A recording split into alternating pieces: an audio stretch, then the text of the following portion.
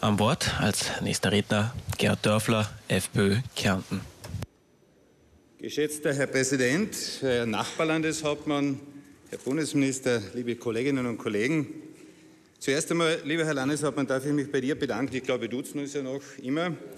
Äh, dass du ein klares Bekenntnis zum Föderalismus abgegeben hast. Ich will das nicht wiederholen, aber die Nähe zum Bürger ist letztendlich die Kernaufgabe der Politik. Und wer zentralisiert, der entfernt sich vom Bürger. Wer zentralisiert, ist weit weg von den Sorgen der Menschen. Und genau der Föderalismus, den wir in Österreich haben, die Struktur Gemeinden, Bezirke, Länder und äh, die Republik Österreich, ist letztendlich der gewohnte Umgang miteinander, dass wir auch entsprechende Zukunftsvisionen finden, aufbauend auf eine Vergangenheit, die ja nicht immer ganz einfach war, wie wir wissen. Das aktuelle Beispiel zeigt auch, dass Landeshauptleute wesentlich näher am Thema der Probleme sind als Zentralisten. Ich kann mich noch gut erinnern, das Traumpaar, das Willkommenstraumpaar Angie und Werner die quasi alle die, die Flüchtlingsfrage thematisieren wollten oder die über Obergrenzen gesprochen haben, über Zäune geredet haben, einfach eine vertretbare Integration und alles damit Verbundene diskutiert haben, wurden, wie es der Herr Bundeskanzler gesagt, als Ausländerfeinde, als Hetzer und weiß ich was abgetan. Herr Landeshauptmann, du hast zeitgerecht bereits am 29.07.2015 nach einer Obergrenze gerufen. Wie ich dich kenne, weiß ich, dass du dir das ja nicht einfach gemacht hast, um einfach sozusagen ein populistisches Asylgeschrei zu produzieren, sondern zeitgerecht zu erkennen, dass die, die die Probleme zu lösen haben, nämlich die Gemeinden und die Länder, der Bund verteilt. Wie in Brüssel funktioniert das auch in Österreich nicht wirklich. Interessant ja auch in Salzburg, da gibt es eine grüne Flüchtlingsreferentin. Das ist ein grüner Gemeinderat in Salzburg gegen ein Massenquartier. Da sind der Bund aufs Auge drückt protestiert und die Grüne, und das ist vielleicht ein Appell auch an die Grünen, dort, wo sie politische Verantwortung haben, versagen sie.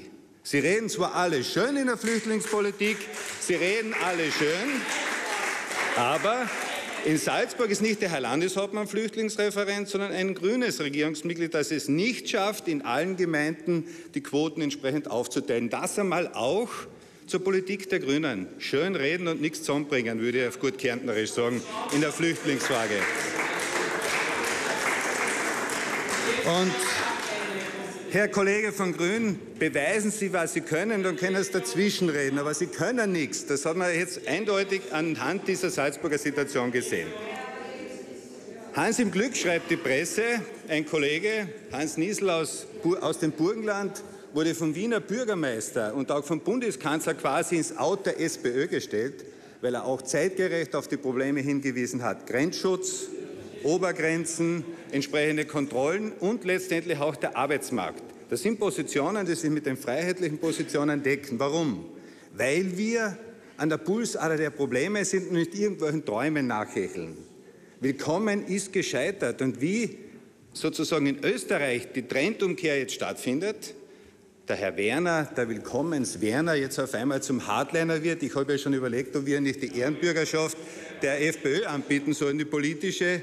Denn er hat später aber doch erkannt, weil Landeshauptmann Haslauer und auch Landeshauptmann Niesel ihn bekehrt haben. Und das ist ein Erfolg. Und es gibt einen zweiten Erfolg. Äh, der neue Verteidigungsminister hat im Gegensatz zu seinen Vorgängern Darabosch und dem Elastizitätsminister Klug die das Bundesheer quasi sicherheitsunfähig gemacht haben, ja, ist jetzt die Chance und die Hoffnung jedenfalls da, dass es jetzt ein neues Denken um das Bundesheer gibt. Natürlich, natürlich. Äh, und dazu darf ich dir, Herr Landeshauptmann, und deinen Kollegen Hans Niesler auch gratulieren, weil es eben so ist, dass der Föderalismus einmal mehr beweist, dass man die Probleme schneller erkennt als Zentralisten, die gerne Probleme schönreden, wegreden und dann sozusagen delegieren an Länder und Gemeinden. So kann es nicht sein. Ein starkes Österreich braucht starke Bundesländer.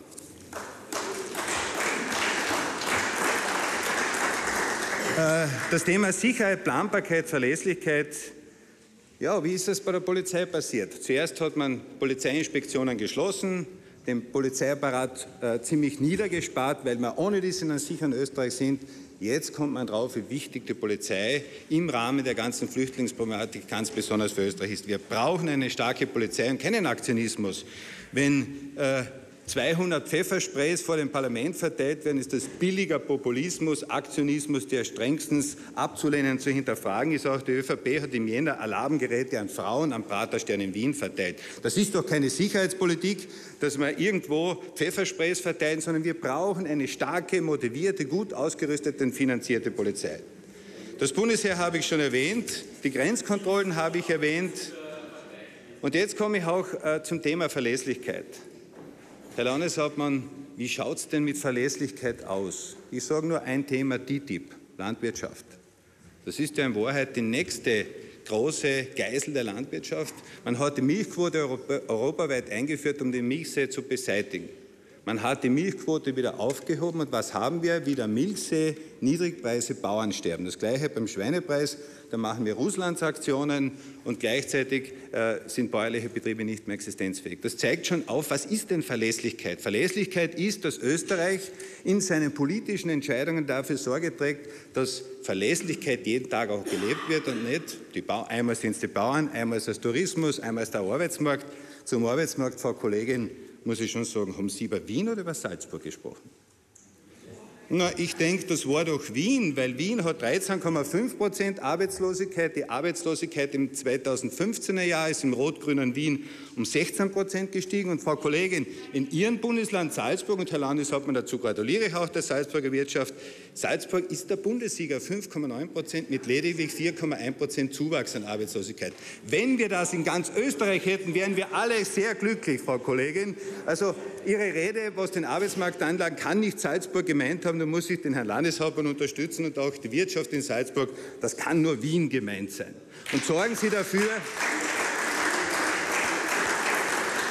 Sorgen Sie dafür, dass dort, wo Sie politische Verantwortung tragen, der Arbeitsmarkt funktioniert. Zeigen Sie, wie es geht und kritisieren Sie nicht dort, wo Sie auf der Oppositionsbank sitzen und Ihren Nachfolgern so einige Probleme auch hinterlassen haben. Zum Arbeitsmarkt. Schwarz-Blau in Oberösterreich funktioniert, Herr Kollege. Das ist gut, dass die Grünen auf der Oppositionsbank sitzen, weil da geht was weiter in Ehrenland. Ja? Seitdem auch Blau mitregiert. Das ist der Unterschied. Und warten wir noch auf den kommenden Sonntag in Deutschland die nächste grüne Abfuhr, weil die grünen Träume einfach nicht beim Menschen ankommen. Sie sind eine Splittergruppe. Sie vertreten nicht die Mehrheit der Sorgen Österreichs. Nehmen Sie das endlich einmal zur Kenntnis. Das nur mit Sicherheit. Mit Sicherheit, wenn wir den nächsten Bundespräsidenten stellen werden, dann werden Sie auch zur Kenntnis nehmen müssen, dass die Bürger andere Entscheidungen und Entscheidungsträger favorisieren. Zum Arbeitsmarkt. Und das ist auch, Herr Landeshauptmann, die Planbarkeit, über die wir zu diskutieren haben. Man weiß, dass in Österreich Bank, Österreichs Bankenlandschaft derzeit 75.000 Bankmitarbeiter noch vorhanden sind und in fünf Jahren ein Drittel davon 25.000 der Rationalisierung zum Opfer fallen werden. Das Demo Industrie, ja, reden wir über die Bank Austria, Herr Kollege. Da können wir auch reden, was gerade aktuell passiert, wird ja heute noch Thema sein, wo man Milliarden Pensionskosten quasi den österreichischen Steuerzahler umhängt. Das sind die Sanierungen der Wiener, die auch 120 Milliarden Haftung für die Bank Austria, die ein Volksvermögen, die Zentralsparkasse im Grunde verschleudert haben. Das ist nichts besser wie in Kärnten. Da brauchen wir uns gegenseitig überhaupt nichts vormachen, Herr Kollege.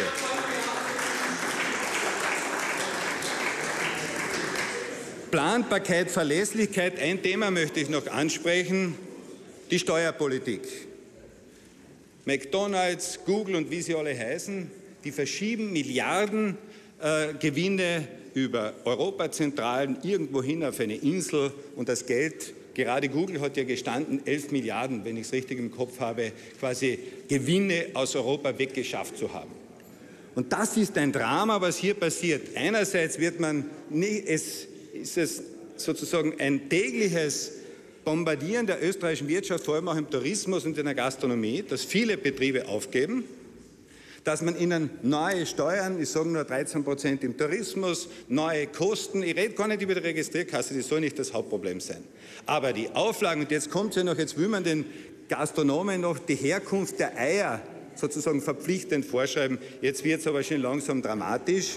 Äh, wenn wir so Politik machen, dann wird es in Österreich keine Wirtschaft mehr geben, die Steuer zahlt. Die internationalen Konzerne lassen ihre Gewinne abfließen Und die nationalen Mittelständler und Kleinbetriebe machen wir kaputt. In der Landwirtschaft, im Tourismus, in der Gastronomie und sonstige. Und das ist auch eine Aufgabe, dass Planbarkeit und Verlässlichkeit und Motivation und Glück, Herr Landeshauptmann, sagen wir Zufriedenheit, suche das Glück und finde die Zufriedenheit, letztendlich auch im Bereich der Wirtschaft eine Grundlage dafür ist, dass es wieder einen Optimismus gibt.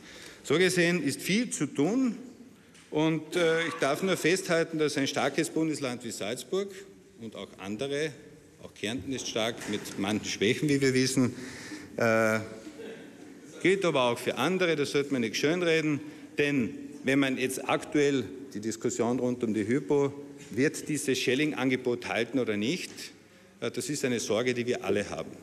Das Problem ist generell, wenn Falschentscheidungen am Finanzmarkt global, europäisch und auch in Österreich geschehen sind. Und da sollten wir halt doch eines zur Kenntnis nehmen. Es gibt noch nicht der Hypo, es gibt auch die Volksbanken, die Kommunalkredit, die sind ja in Wahrheit um nichts besser. Ja? Nur sind es halt nicht so politisch und gerade nicht Kärnten. Das heißt, die Gewinne werden nach Mailand geschickt, wenn wir zur Bank Austria kommen und die Pensionskosten darf der österreichische Steuerzahler berappen. Passiert ja heute nichts Besseres. In diesem Sinne, Herr Landeshauptmann, wünsche ich dir und deinem Bundesland alles Gute und ich hoffe, dass Österreich bald die gleichen Arbeitsmarktzahlen wie Salzburg hat. Gegen Zentralismus und für Föderalismus spricht sich auch der ehemalige Kärntner Landeshauptmann Gerd Dörfler von der FPÖ aus. Sorge bereitet ihm die hohe Arbeitslosigkeit in Österreich sowie die Steuerflucht von Großkonzernen, während die Klein- und Mittelbetriebe durch immer mehr bürokratische Hürden regelrecht kaputt gemacht würden.